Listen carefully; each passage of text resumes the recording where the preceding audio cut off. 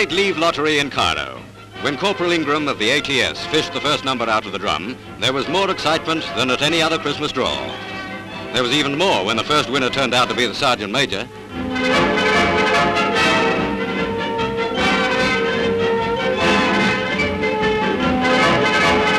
Most of the winners didn't know their luck for several days as they're scattered over a wide area.